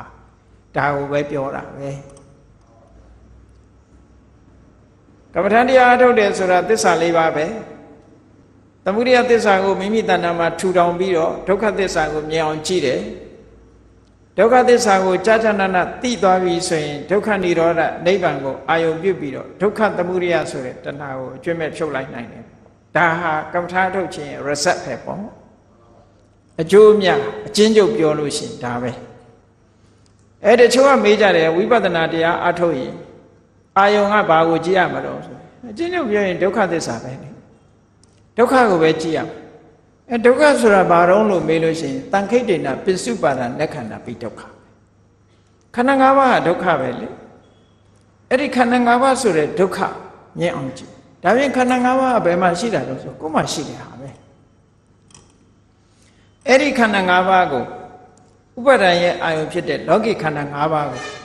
ဝိပဿနာဉာဏ်နဲ့ရှုမြင်နိုင်ပြီဆိုလို့ရှိရင်အဲ့ဒီခန္ဓာကိုပေါ်မှာအလေးအကျင့်ကြီးပါလို့ဖြစ်နေတဲ့တဏှာခိတိတာဖယ်ရှားပြနိုင်သွားတယ်။ဘာနဲ့ဖယ်တော့ဆိုအသိဉာဏ်နဲ့ဖယ်လိုက်တာပဲနောက်ဆုံးကြ။ကိန်းနေတဲ့အနုတ္တယဓာတ်အနေနဲ့ကိန်းနေတဲ့စွမ်းအားရှိနေတဲ့တဏှာကိုခန္ဓာကိုယ်ပေါ်မှာ ဘူမိလတ္ထလို့ခေါ်တယ်သူကဖြစ်เสียနေရာကြီးတစ်ခုရထားတယ်တဏှာကအဲ့ဒီကနေထထပြီးဖြစ်နေတော့ဖြစ်เสียနေရာကြီးတစ်ခုရတယ်ဘာနဲ့တူတုံးဆိုရင်ယောဂငုံနဲ့တူတယ်ပေါ့ခုခေတ်စကားနဲ့ပြောရင် positive ဖြစ်နေတာပေါ့တဏှာအဲ့ဒီဖြစ်ပေါ်လာမဲ့တဏှာကိုမဂ္ဂင်၈ပါးပွားပြီးတော့ဖယ်ရှားလိုက်နိုင်ပြီနောက်ဆုံးဒုက္ခនិရောဓကိုတွေးလိုက်တာနဲ့တပြိုင်နက် ဒုက္ခသမုဒယဆိုတဲ့အဲ့ဒီတဏှာကိုဖယ်ရှားပြီးသားဖြစ်သွားတယ်လို့မြတ်စွာဘုရားကအကျဉ်းချုပ်အဲ့ဒီမှာဟောတာကုတိကရမသစ္စာတရားဟောနေတဲ့အချိန်မှာဝေသာလီကသတင်းတွေကြားတယ်မြတ်စွာဘုရားကုတိကရံကောတိခမ္မကိုရောက်နေတယ်လို့ဆိုပထမဆုံးဘသူရောက်လာတော့ဆိုအဲ့ဒီအလှမဲ့အမ္ပပလီရောက်လာတာပဲကောင်းပိတ်ကောင်းပိတ်လှပိတ်ဆိုတဲ့သူခိကယင်နေနဲ့သူကတယောက်တည်းနေတာမဟုတ်ဘူးအချမ်းရံနေနဲ့အများကြီးပဲသူ့မှာ အချမ်းရံမြောင်များစွာနဲ့နေတာတထေးလိုနေတာနော်အဲ့တော့တကယ်တထေးပဲအဲ့တော့သူ့အချမ်းရံနေနဲ့ကောင်းမေ့ဆိုတဲ့ယင်တွေကိုစီးပြီးတော့မြတ်စွာဘုရားသတင်းသုံးတဲ့ကောတိခါမဘက်ကိုသူကဝေသာလီဘက်ကနေထွက်လာဘုရားစီလဲရောက်ရောသူစီးလာတဲ့ယင်တွေကိုပြင်မှာထားဘုရားကျောင်းတော်ထဲဝင်သွားတယ်ကောတိကာမမှာရှိတဲ့ကျောင်းထဲမှာဝင်သွားပြီးတော့ မြတ်စွာဘုရားကိုသွားလျှောက်ရှ िख ိုးတယ်ကြောတယ်ဘုရားကိုသွားပြီးတော့ဖူးတယ်ပေါ့ဘုရားဖူးပြီးတော့သူကဘာလျှောက်တုံးဆိုလက်ဖြင့်ကတပည့်တော်မှဆွန့်ကတ်ချင်တယ်မြတ်စွာဘုရားတပည့်တော်မှဆွန့်ကိုလှူခံပါလို့ပြောဆွန့်စားတော့ပဲ့အမှန်ဆွန့်စားတော့ပဲ့အဲ့ဒါလို့ဆွန့်စားပင့်ပြီးတော့ပြန်လိုက်တဲ့အခါကျတော့မှ ဟိုဝေသာလီကမင်းတွေကမင်းသားတွေကနောက်ကျပြီးတော့အမလီခန်းခန်းနာနာကြီးနဲ့ထွက်လာတာဘုရားစိတ်ကိုသူတို့မှာဟိုအဖြူရောင်ဝတ်ဆင်ထားပြီးတော့အဖြူရထားတွေစီးလာတဲ့လူကတဒန်းအနီရောင်တွေဝတ်ဆင်ပြီးတော့အနီရောင်စီးလာတဲ့လူတွေကတဒန်းအဝါရောင်ဝတ်ဆင်ပြီးတော့အဝါရောင်ရထားတွေစီးလာတဲ့လူကတဒန်းနော်အညိုးရောင်ဝတ်ဆင်ကိုဝတ်ပြီးတော့အညိုးရောင် ယထာတွေကိုစီးပြီးလာတဲ့လူကဟိုးတကယ်ကိုလှလှပပခန်းခန်းနာနာကာလာဖူးပေါ်ရောင်စုံပေါ့နော်ဝေသာလီပြည်ကမင်းသားတွေဟာတကယ်ကိုလှလှပပနဲ့ကောင်းပြီဆိုတဲ့ယင်နေနဲ့မြတ်စွာဘုရားစီကိုထွက်လာကြထွက်လာတော့ဟိုကအမပါဠိကအေးအေးဆေးဆေးပဲသူကပြန်လာခဲ့ပြီလေလမ်းကြတော့ဆုံတယ်ဆုံတဲ့အခါကျတော့အာမပါဠိက तू ကအလှမယ်ဆိုတော့ဘသူ့ပေါ်မှာမဆိုလွှမ်းမိုးနိုင်တာဟုတ် အဲ့ဒီဝေသာလီမင်းသားတွေစီးလာတဲ့ယထာကိုသူ့ယထာနဲ့ဝင်တိုက်ပလိုက်တယ်နော်ဝင်ချိတ်တယ်အဲချိတ်တယ်ဆိုတဲ့နေရာမှာ तू ကတဘိုးတဘိုးချင်းချိတ်ပြီးသွားအောင်လို့ဘိန်ဘိန်ချင်းချိတ်ပြီးအောင်လို့ तू ကဝင်ဆောက်တာဝင်ဆောက်တော့ခေါင်းဆောင်လာတဲ့လက်ဆွေမင်းတွေကပြောတယ်ဟေးအာမပါဠိဘာဖြစ်လို့မင်းသားတွေရဲ့ယထာတွေကိုမင်းဝင်ချိတ်ရတာတော့လို့ဆိုသူကပြောလိုက်တယ်မြတ်စွာဘုရားကိုကျမဆွမ်းစားပင်းခဲ့ပြီ ဟာအဲ့ဒီကောင်နေအဲ့ဒီကြတော့မှနောက်ကောက်ကြသွားမှသူတို့ကဆွမ်းစားပင်းမလို့လာတာလေခုချိန်မှာကျမဆွမ်းစားပင်းခဲ့ပြီလို့ဆိုတော့တခါတည်းသူတို့ online ဟိလိုက်ကြတာတို့တော့ရှုံးပါပြီကွာအမျိုးသမီးတယောက်ရဲ့တို့ကနောက်ကျသွားပြီတို့မရလိုက်တော့ဘူးဆိုပြီးတော့အမရလီကိုဝိုင်းပြီးတော့ပြောကြတယ်မင်းပင်လာတဲ့ဆွန်တနတ်ကိုတို့ဝေတသိန်းနဲ့ရောင်းပါလားဆိုတော့အမပါဠိကဘာပြောတော့ဆို အရှင်မင်းသားတို့ဝေသာလီပြည်ကြီးနဲ့တကွဝေသာလီပြည်ပေါ်မှာရှိတဲ့ယရနာတွေရောဘာတွေရောအကုန်လုံးပေးတောင်မှကျမမရောင်းနိုင်ဘူးတဲ့ဟောသူကဖះကိုစောစားပင်လာလုံးဝမရောင်းနိုင်ဘူးဆိုပြီးသူကမျိုးပဲဝင်သွားရောဟိုကဖះစီဆက်သွားကြ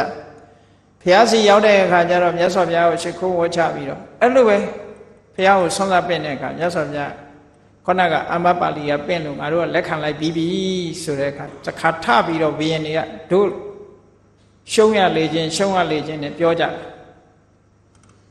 အဲ့တော့ဒီဒိဋ္ဌိမင်းတွေဟာပြင်းစင်နာနဲ့သူတို့ကမဥတော့ဘူးနောက်ကျတယ်အဲ့လို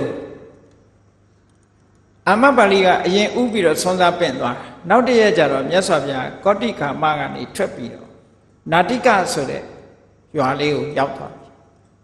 အုတ်တိုက်နဲ့အုတ်နဲ့ဆောက်ထားတဲ့ကျောင်းလေးမှာသွားပြီးတော့သတင်းသုံးတယ်နာတိကရွာ။အဲ့ဒီဟာကဝေသာလီပြည်နဲ့ပို့ပြီးတော့နီးသွားတယ်။အဲ့ဒီချိန်မှာမြတ်စွာဘုရားဝေသာလီမှာကျောင်းရှိသေးဖို့မပေါ်ဘူး။အေးနောက်တည့်ရက်နန်းနဲ့မိုးတော့လင်းရောက်တဲ့အခါကျတော့အမ္ဘပါဠိကဖះကိုလာပြီးတော့တွေ့ရင်ကြွဖို့ ဆွမ်းနေအကုန်အစင်းသင်းဖြစ်ပြီဆိုတာလာပင့်တယ်လာပင့်ပြီးတော့မြတ်စွာဘုရားကိုဆွမ်းမကတ်ဆွမ်းကတ်ပြီးတဲ့အခါမှာဆွမ်းရည်စချပွဲမှာဘာလုပ်လဲဆိုရင်မြို့ထဲမှာသူပိုင်တဲ့ဥယျာဉ်တည့်ရဲ့ဥယျာဉ်ကြီးရှိတယ်အဲ့ဒီတည့်ရဲ့ဥယျာဉ်ကြီးကိုမြတ်စွာဘုရားကြောင်းအဖြစ်သတင်းသုံးဖို့ဆိုပြီးတော့အဲ့ဝေသာလီပြည်နာတည့်ရဲ့ဥယျာဉ်ကြီးကိုမြတ်စွာဘုရားကိုလှူလိုက်တာနော်ပထမဆုံးသူအဲ့ဒီမှာအယံကိုလှူတဲ့ ကျောင်းမှာရေးဖြစ်ခံယူလိုက်တာပေါ့အဲ့တော့မြတ်စွာဘုရားအာမပါဠိရဲ့တည့်ဥယျာဉ်ကြီးထဲမှာမြတ်စွာဘုရားတရင်သုံးတယ်ပေါ့အဲ့ဒါလို့မြတ်စွာဘုရားကိုစိကတ်ကိုးကွယ်လာဒီလိုစိကတ်ကိုးကွယ်လာတဲ့ထဲမှာ तू ကကံကြမ္မာအကျိုးပေးမလှသည့်အတွက်ကြောင့်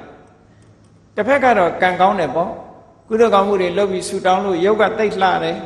ကံကောင်းတယ် နော်စီးစိမ်ဥစ္စာတွေကြွယ်ဝတယ်ချမ်းသာတယ်အသိဉာဏ်ရှိတယ်ကံကောင်းတယ်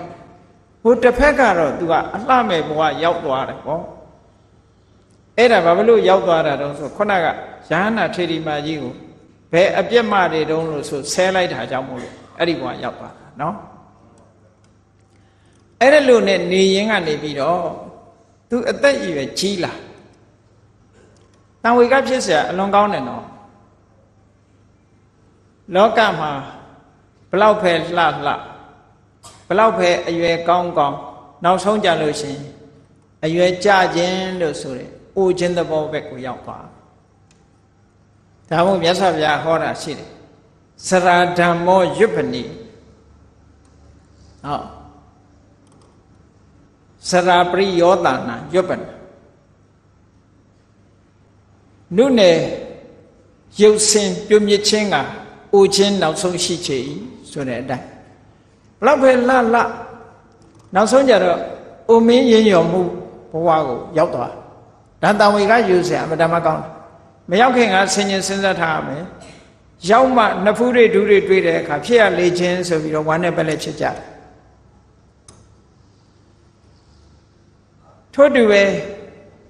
ယောဂကင်းပြီးတော့ဈမ္မာခြင်းဟာလည်းပဲနောက်ဆုံးမှာယောဂဖြစ်ခြင်းပဲအဆုံးရှိတယ် မကျမ်းမာမှာယောဂဖြစ်ခြင်းပဲအဆုံးရှိတယ်ဗျာတိဓမ္မဖြာနာခြင်းပဲအဆုံးရှိတယ်အသက်ရှိခြင်းဟာလည်းအသက်ရှင်ခြင်းဟာလည်းပဲနောက်ဆုံးမှာသေရခြင်းမှာပဲအဆုံးသတ်တယ်လူရဲ့တဘာဝတရား၃မျိုးမြတ်စွာဘုရားဟောတာအဲ့ဒီဟောပြောချက်ဟာအင်မတန်မှမှန်ကန်နေလို့အမတ်ပါဠိကြီးကအရွယ်ရောက်လာတဲ့အခါ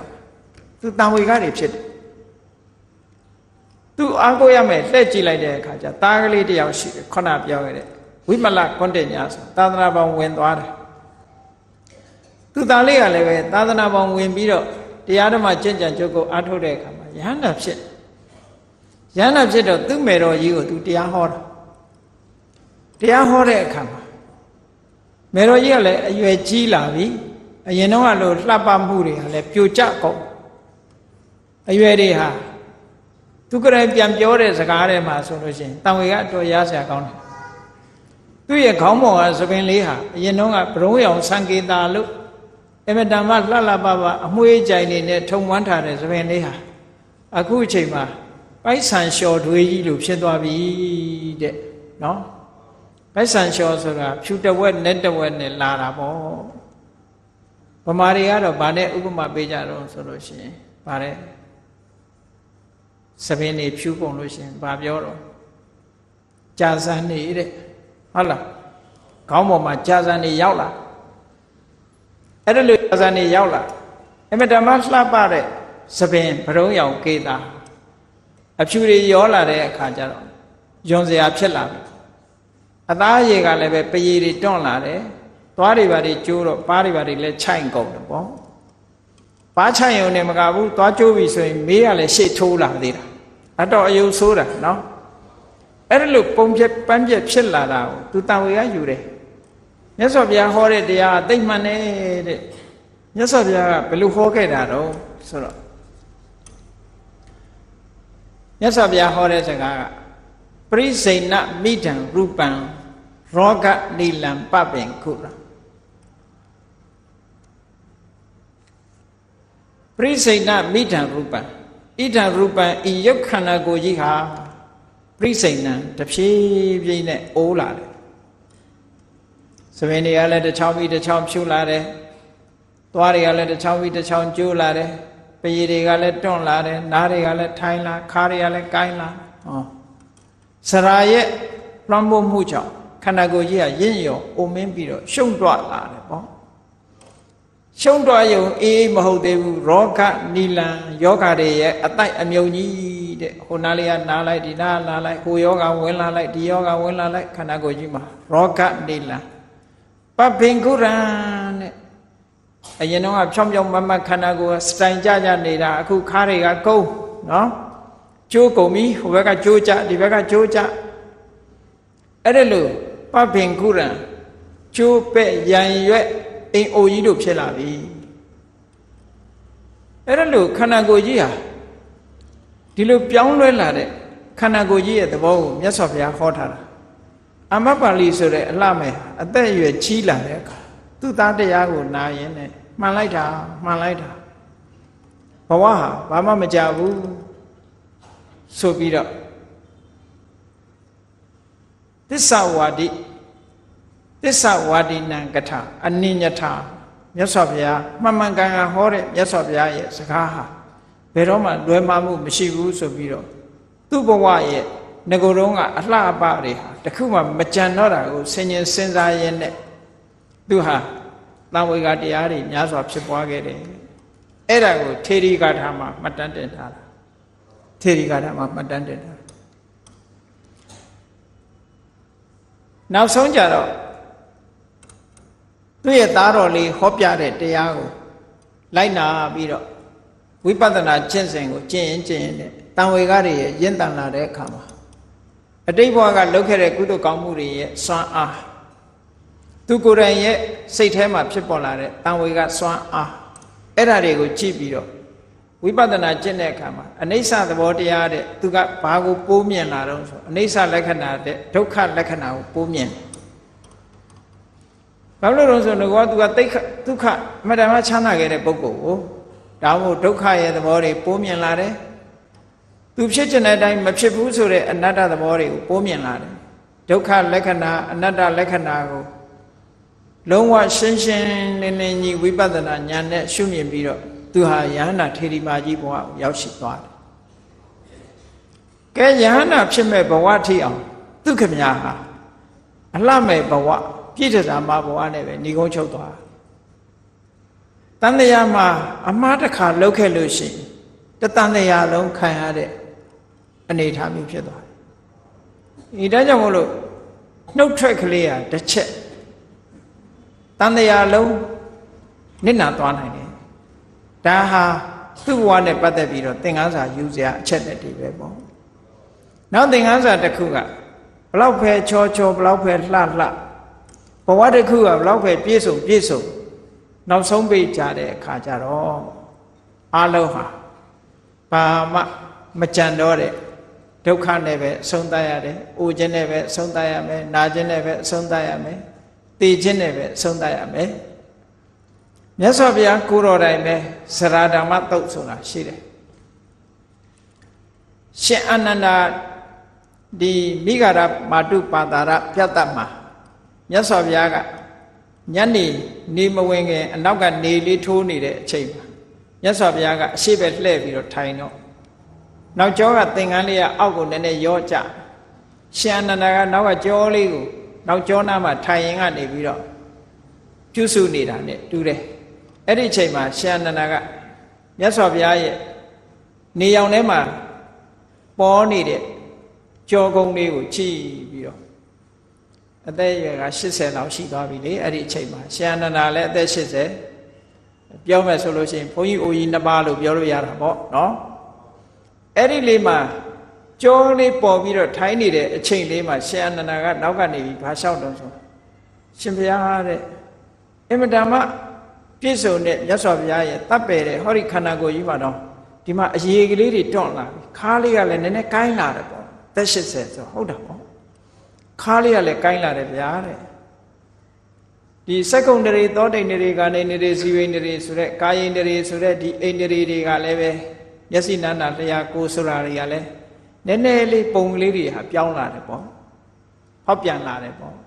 မြတ်စွာဘုရားကိုအဲ့လိုလျှောက်ထူးခြားချက်ကလေးတွေတွေ့လာရတယ်ပေါ့အရေးကလေးတွေတွန့်နေတာတွေတွေ့ရတယ်ဆိုမြတ်စွာဘုရားကခုနပြောတာကိုမိတ်အေးတဲ့နုပြုတ်မှုအားလုံးမှာ ပုံမင်းမှုဆိုတာလာမှာပဲတဲ့ကျမ်းမာမှုဆိုတဲ့အဲမှာလည်းပဲမကျမ်းမာမှုဆိုတဲ့ဗျာဒိတ်တရားလာမှာပဲတဲ့အသက်ရှင်ခြင်းဆိုတဲ့အဲမှာလည်းပဲသေဆုံးခြင်းဆိုတာလာမှာပဲလို့ဆိုပြီးတော့မြတ်စွာဘုရားသခင်ကိုရောမြတ်ကဟောတဲ့ခါထာလေးတစ်ပုဒ်ဟာအမေဓမ္မခါထာလေးနှစ်ပုဒ်အလွန်တခါမှတ်သားစရာကောင်းတယ်တခုနော်မြတ်စွာဘုရားကိုယ်တိုင်ဇရာကိုကျိန်းဝါပြီးတော့ပြောတဲ့ဂါထာလေးက ဒီတံဇံမိစရေအထုတဘောကတော့ဟေးအိုမင်းညင်ရောချင်းမင်းဟာအလွန်ရင်ယွန်စရာကောင်းတယ်ဒီတံဇံမိဇံမိစရေဆိုတာသိရုပ်မှတဲ့အိုခြင်းတရားတဲ့မြတ်စွာဘုရားသိရုပ်မှလာတဲ့အိုခြင်းတရားမင်းဟာအလွန်ယွန်စရာကောင်းတာပဲဒုဗ္ဗန္တကရဏီစနေ လူကိုရုပ်ပြည့်စင်းမြဲဖြစ်အောင်လှုပ်တတ်တဲ့ဇရာတရားတာဝမနောရမံဗိမံဇရာယအဘိမတ္တိတာဒါလောက်လှပချောမောတပ်ပယ်တဲ့ရုပ်ခန္ဓာကိုယ်ကြီးဘုရားလောင်ရုပ်ခန္ဓာကိုယ်ဆိုတာပါရမီတွေဖြည့်ထားလို့သူများတွေနဲ့မတူဘူးမဟာပုရိသလက္ခဏာ32ဖြာနဲ့ပြည့်စုံတဲ့ရုပ်ခန္ဓာကိုယ်ကြီးအဲ့ဒါလောက် ဘယ်ဘက်ကနေကြည့်ကြည့်ဟိုအပြည့်နာစာရှာလို့မရတဲ့လူပြိုနေတဲ့အချိန်မှာဆိုဘယ်ဘက်ကကြည့်ကြည့်အလုံးကိုတပ်ပယ်လာတဲ့ရုပ်ခန္ဓာကိုယ်ကြီးကိုအခုလိုရုပ်ပြဆင်းပြဖြစ်အောင်လှုပ်သွားတာစရာတရားရဲ့လွှမ်းမိုးနှိမ့်ဆက်မှုပဲလို့စရာတရားကိုကျိန်းဝန်းပြီးမြတ်စွာဘုရားပြောနောက်ကြတော့ဘုရားကပြောတော့ဆိုယောပိဝတ္တတတံစီဝေသောပိမစ္စုပရာယနော အတ္တတရားရှိတဲ့လူလဲနောက်ဆုံးသိရတာပါပဲသာဝရအသက်ရှင်တဲ့ပုဂ္ဂိုလ်ဆိုတာမရှိပါဘူးနကိစီပရိဝေစေတိတဗ္ဗမေဝဘိမတ္တိတေခြင်းတရားဆိုတာဘယ်သူမှခြံထားမှာမဟုတ်ဘူးတဲ့တေခြင်းတရားဆိုတာဘယ်သူမှခြံထားဘူးအလုံးကိုပဲလွှမ်းမိုးသွားမှာဖြစ်တယ်ဟောရှင်အနန္ဒာနဲ့ညီနောင်နှစ်ပါး ဥမင်းရင်ရော်ချင်းအသက်80အရွယ်မှာမိမိတို့ရဲ့ဘဝသင်္ကန်းစာယူပြီးဘုန်းကြီးတို့တွေကတန်ဝေကဖြစ်เสียမှတ်ကြရအဲ့ဒီအတိုင်းပဲအမတန်ချောမောလှမတဲ့အလှမယ်လို့ကြော်ကြားတဲ့အမ္ပပါဠိဆိုတဲ့ဝေဒာလီပြည်ရဲ့အလှကျက်တရေဆောင်ဖြစ်တဲ့အမ္ပပါဠိဟာလဲနောက်ဆုံးကြတော့အိုမဲရင်းရော်ပြီးတော့အဖွားအိုကြီးဘဝ ရောက်သွားပြီးစရာရဲ့လွှမ်းမိုးမှုအောက်မှာပြပြဝတ်ပြီးနောက်ဆုံးသူကလည်းပဲသိဆုံးသွားကြရတယ်အေးဒါကြောင့်မလို့အမပါဠိရဲ့ဘဝဘဝနဲ့သူ့ရဲ့ဘဝဟာသင်္ကန်းစာယူစရာတွေအများကြီးရှိတယ်သင်္ကန်းစာယူကြရမှာအမပါဠိလို့အလှအပကိုသွားပြီးတော့ဆူတောင်းပြီးလို့ရှိရင်တန်တရားထဲမှာကြာအောင်မှာပဲအမပါဠိလို့နှုတ်ကိုမဆောင်မဲနဲ့ မပြင်းမရိုက်တဲ့ပုဂ္ဂိုလ်ကိုပြင်းမမိလို့ရှိရင်တန်တရားထဲမှာဒီဘဝကိုမလွှဲမသာအမြဲတမ်းပဲနောက်ဆုံးယဟန္တာဖြစ်မဲ့ဘဝတောင်မှပဲအဲ့ဒီဘဝမျိုးကိုရောက်ရှိပြီးတော့ခံစားရတယ်အင်မတန်မှကြောက်စရာကောင်းတယ်နော်ဒါမို့တန်တရားခရီးသွားတဲ့အချိန်မှာအမှားမလုံးမိဖို့အရေးကြီးရည်စရာလေးအနေနဲ့တော့မလုံးထိုက်ဘူးခုတ်ဆုတ်တရာဆိုတာအလုံးကြားဖို့ကြတယ်သူ့နာမည်ကတော့ဥတ္တရာပဲ ဒါပေမဲ့ခါကလေးကကုန်းနေလို့သူ့ကိုခုတ်ဆုတ်တရာလို့ခေါ်တယ်သူခါကုန်းတာယောဂကြောင့်ကုန်းတာလည်းမဟုတ်ဘူးအတိတ်ဘဝတုန်းကပိစိကဗုဒ္ဓအရှင်မြတ်တပါးကခါလေးကုန်းတဲ့အခါနန်းတော်ကိုဆွမ်းလာလာပြီးတော့ဖုံးမေးတော့သူကရည်စရာလှုပ်ပြတာတို့ရဲ့ပိစိကဗုဒ္ဓလေးကဟောတယ်လို့ကြွတာအေးဆိုပြီးတော့ကုန်းကုန်းလေးလှုပ်ပြလို့အဲ့ဒီပုံစံအတိုင်းသူဖြစ်နေတာနော်လှုပ်တာကရည်စရာဖြစ်လာတာကကိုယ့်အတွက်မှာလူကြီးပွဲရာကြီးဖြစ်လာတယ်ပေါ့ ဒါကြောင့်မလို့တန်တရာခရီးသွားတဲ့အခါမှာအမှားမလုံးမိစေဖို့အမတန်မှအရေးကြီးတယ်အမတ်ပါဠိဟာစောစောကလေးကနေမက်ဖို့နိဗ္ဗာန်ကိုဆူတောင်းပြီးတော့တန်တရားကိုစခန်းရအောင်လုပ်မယ်ဆိုလို့ရှိရင်အနှစ်တသိန်းထီအောင်ငရဲမှာလည်းကြစရာအကြောင်းမရှိဘူးဘေခုနီမကိုစော်ကားမိမှလည်းမဟုတ်ဘူးမစော်ကားမိလို့ရှိရင် तू ဟာအခုလိုအလှမဲ့ဘဝနဲ့ဘဝတသောင်းဒုက္ခရောက်ရတာမျိုးလည်းရှိမှာမဟုတ်ဘူး တန်တရားမှာဒီလောက်ကြာပြီးတော့သွားတာဒါကြောင့်မို့လို့ဘဝတစ်ခုကတို့တွေ तू မှားတာမျိုးတွေတို့မမှားမိအောင်ကြိုးစားအထောက်ကြရမှာဖြစ်တယ်ဘဝဟာနောက်ဆုံးမှာမြတ်စွာဘုရားဟောတဲ့သစ္စာ၄ပါးအတိုင်းပဲတို့တွေဘဝကိုဆောင်ကျင်းသွားတဲ့ဘဝကိုရှည်ကြစေတတ်တဲ့တဏှာလို့ခေါ်တဲ့ဘဝနိတိကိုမဖယ်ရှားနိုင်သေးသမျှကာလပတ်လုံးဒုက္ခဘယ်တော့မှဆုံးသတ်မှာမဟုတ်ဘူးဒုက္ခဖြစ်ခြင်းရဲ့အကြောင်းဖြစ်တဲ့ ပရတမှုတဏှာကိုတို့တွေဟာအဆုံးသတ်အောင်လုပ်ကြရမယ်ဘာနဲ့လုပ်ရမလဲဆူတောင်းနေုံနဲ့မပြီးဘူးမဂ္ဂသစ္စာဆိုတဲ့အကျင့်တရားကိုကျင့်ကြရမယ်တမ္မာဒိဋ္ဌိလို့ခေါ်တဲ့မှန်ကန်တဲ့အသိဉာဏ်နဲ့ယုတ်တရားနံတရားတွေကွဲပြားခြားနာအောင်သိအောင်ဝိပဿနာကျင့်စဉ်တစ်ခုကိုကျင့်ရမယ်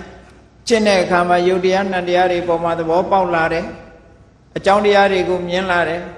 ရုပ်တရားနံတရားတွေရဲ့မမြဲမှုဖြစ်ပင်းမှုတွေထင်ထင်ရှားရှားသိလာတယ်နောက်ဆုံးပြတ်ထားတွေကြီးပဲမြင်လာတယ်နောက်ဆုံးကြတော့ကြောက်စရာလို့မြင်လာတယ်ညင်းငွေစရာကြီးဖြစ်လာတယ်အပြစ်တွေမြင်လာတယ်စိတ်ထဲမှာလွတ်ချင်လာတယ်ဒီတန်တရားတွေကဒီခန္ဓာကိုယ်ကြီးကလွတ်ချင်လာလို့ထွက်ပေါက်ရှားတယ်နောက်ဆုံးမှာခန္ဓာကိုယ်ကြီးပေါ်မှာစိတ်လေးဟာတည်ငြိမ်အောင်ထားပြီးတော့မှန်တဲ့အသိဉာဏ်ကိုချိန်သားကြိုက်အောင် နေနိုင်သွားပြီဆိုတဲ့အခါမှာဝိပဿနာဉာဏ်ရင့်တန်လို့နောက်ဆုံးမှာနိဗ္ဗာန်ကိုမြင်တဲ့မဉဏ်ပေါ်တဲ့အခါခုနကပြောခဲ့တဲ့ဘဝကိုဆောင်ကျင်းတဲ့တဏှာဟာအမြစ်ပါမကြမ်းဖြည့်ဆည်းခြင်းခံရရပြီဘဝဆိုတာနောက်ထပ်ပြန်ပြီးတော့မရတဲ့အနေအထားမျိုးရမှာဖြစ်တယ်ဒီလမ်းကြောင်းကလွဲပြီးတော့တခြားသွားစရာလမ်းကြောင်းမရှိဘူးလို့ကိုစီကိုစီသဘောကျပြီးတော့အမ္ပပါဠိရဲ့ဘဝ သင်္ကန်းစာယူပြီးတော့ကြင့်ကြံကြိုးကုပ်အားထုတ်နိုင်ကြပါစေကုန်တည်း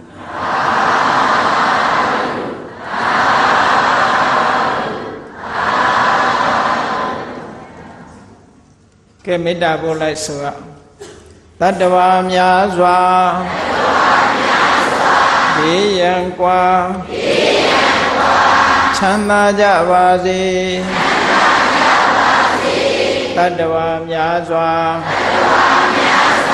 ဘေးရန်กว่าချမ်းသာကြပါစေ